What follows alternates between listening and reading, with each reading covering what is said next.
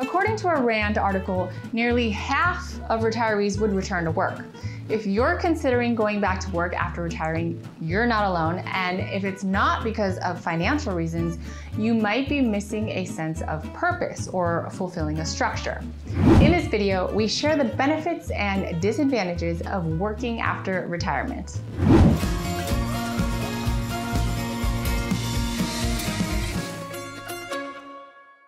In case you're new, I'm Cyn Meyer, the founder of Second Wind Movement and a life coach for older adults who are striving to turn their retirement years into their best years full of purpose and meaning. And a big part of that is establishing a daily structure that gives you the most energy and focus and also the relaxation and free time. Because yes, you can have it all, especially during retirement. You just have to support it with the right retirement structure. And sometimes that means adding work back into your life. There are key benefits of working after retirement. Number one, improved health. Working later in life, especially part time, and especially if it aligns with your new identity in retirement, which is meant to be different from your career role, gives you the benefit of staying mentally, socially, and physically active. Social interactions in the workplace, especially if they're with people who energize you, can be a great benefit. And there's also the cognitive benefit. Having mentally demanding work can improve your cognition and prevent cognitive decline in old age. And of course, the best way to stay mentally sharp and emotionally and physically healthy is to do work that you love. So it's important to first find clarity on your sense of purpose, which brings us to number two your sense of purpose. Your job was probably a big part of your identity. And if you're like many retirees, losing your career identity can feel like losing your sense of purpose. So, another benefit of returning to the workforce in retirement is to regain that sense of purpose and combat any feelings of emptiness and confusion that can come with retirement. According to AARP, while 32% of retirees work for pay since retiring, 90% do it because they want to stay active and involved. But again, a big caveat is to make sure that your retirement job is something that energizes you. This is a great time to reinvent the way that you contribute your skills and your personality to the world. Even if you really need the money, try not to force yourself to pick up a job solely for the money. Whether it's a cause that lights you up or simply the social interaction that you gain, you'll benefit the most from an energizing work environment, specifically in retirement, because if you love your job at this life stage, work can be a very great source of joy and happiness. Bonus tip hunt for a paid volunteer gig that aligns with your interests and your passions. You can find the right volunteer opportunity that's paid, and there are even virtual volunteer options. And then there's, of course, number three, secure retirement. The most obvious benefit is financial.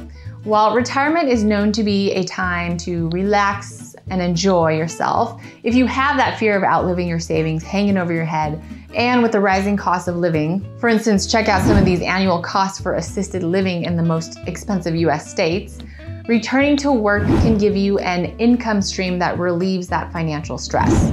Now for the disadvantages of working after retirement. Number one, time commitment. You don't want to lose your sense of freedom and your ownership of your calendar. When you work full time, it's like every minute is accounted for. And after decades of this lifestyle, retirement and an open calendar can be an exciting prospect with a new sense of time freedom.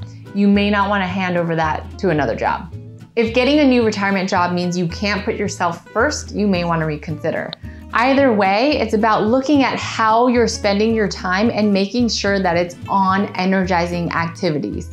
To put it into perspective, the average older adult spends between five and eight hours on leisure and sports every day, which is the equivalent of at least a part time job and maybe even a full time one.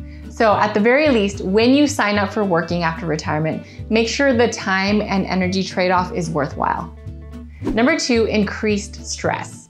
If you're trying to fill a void in retirement, sometimes working isn't the answer.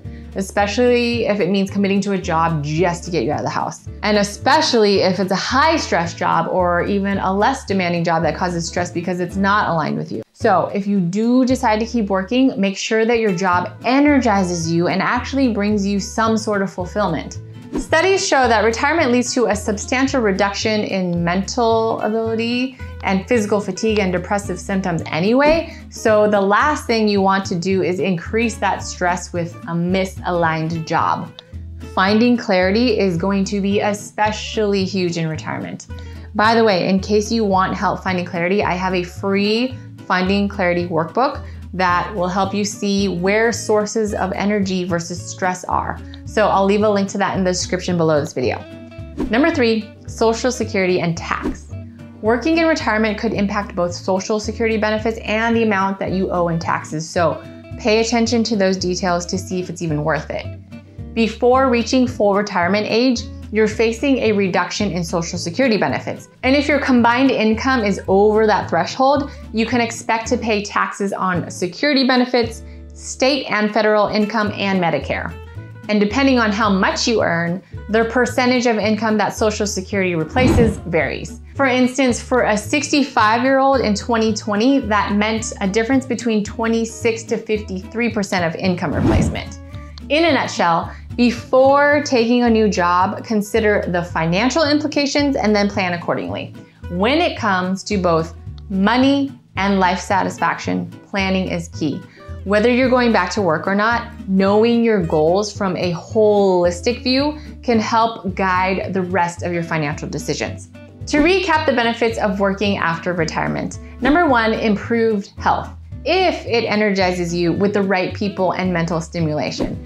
Number two, sense of purpose. Again, if it's a job that aligns with your new retirement identity. Number three, financial security. And the disadvantages of working after retirement. Number four, time commitment. Number five, increased stress if it's not an ideal job for you at this life stage. And number six, social security and taxes. Just factor in those details. Deciding whether or not to work after retiring is so much more than just a financial decision. It's about how this choice shapes your quality of life and your sense of purpose, which is super closely tied to your personal identity.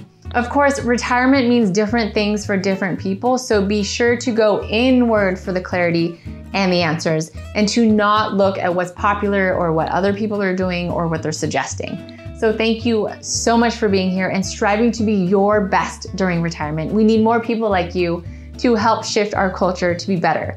So please like, share, and subscribe and comment on this video.